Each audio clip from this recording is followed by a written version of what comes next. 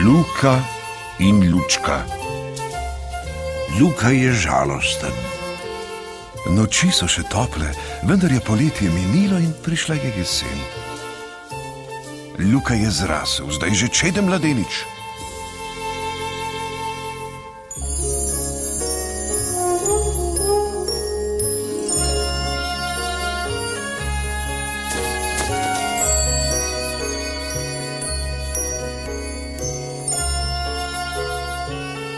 Zaljubljenju pika polonico.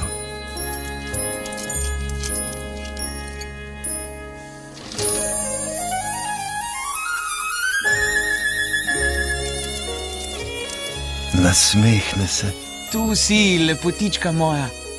Luku je zmešala glavo. Njega pa ima rada lučka. Ljubi, ne ljubi. Botro skrbi, Luka že dolgo nisem videla. Ne prihaja več. Sta skregana? Luka je pozabil na lučko, samo na pika polonico misli, samo njo vidi.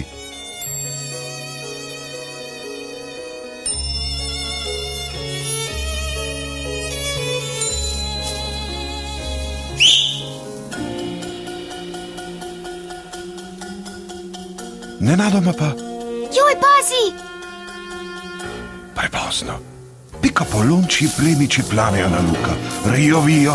Izgini, da te ne vidimo več! Tu Izgini! izgini! Da te ne vidimo več! Izgini! Da te ne vidimo Da več! te ne vidimo več! Tu! Eh!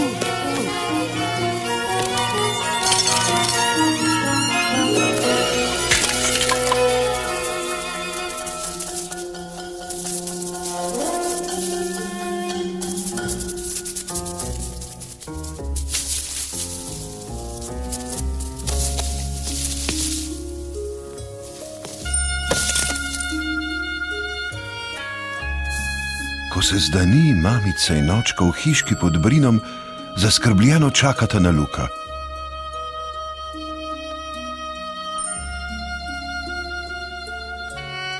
Kaj, kaj ti pa je? Luka se iz strahu v hipu zlaže. No, padel sem.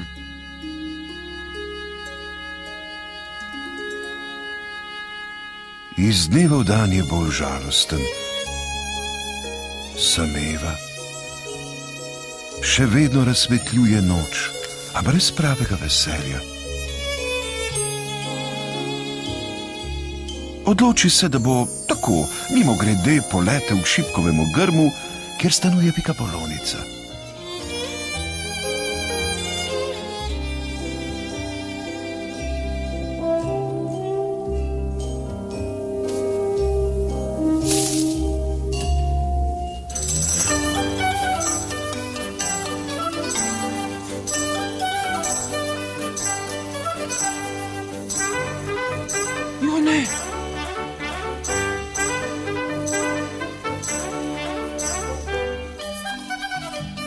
Zlatko se čudi. Mar nisi vedel? Pika polovnica se je poročila. Ha.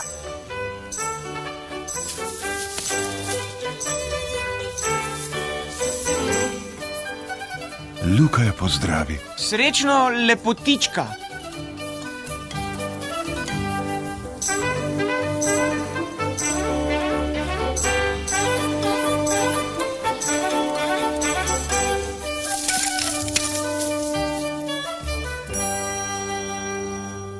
Janinina hiška, skrita pod resjem, je gostoljubna. Janina Luku sočutno na široko odpre vrata. Zakaj si tako nesrečen? Luka ji pove, da ljubi pika polonico. Ob njej je začutil življenje, a poročila se je z drugim. Luka ni moč potolažiti. Janina stisne Luka k sebi. Zelo si potrd. A pomisli, da zaživijo pikapolonice po dnevi, ko si je sonce. Ti pa si zato, da razsvetljuješ noč. Vodijo te zvezde in mesec. Vajni poti sta različni in mi vsi te imamo še vedno radi.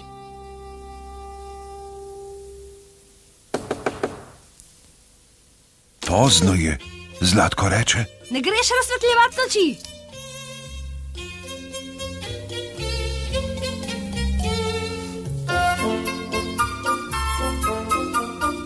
Je Nina sluti, da Luku še nekaj leži na duši. Še ena skrivnost te teži. In tako Luka doma prizna. Namesto da bi se držal poti, sem raje svetil pikapolonici. Zato so me napadli pikapoloniči plemiči in so me pretepli. Bal sem se vama povedati.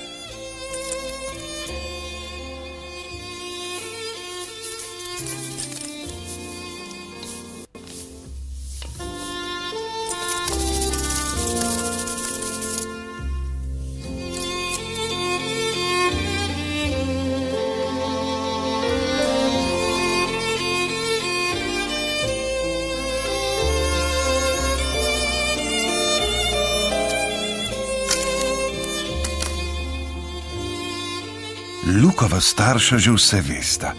Spoznata pa tudi, da je njun sin goden za ženitev. Toda Lukovo žalost bo lahko pregnal le čas.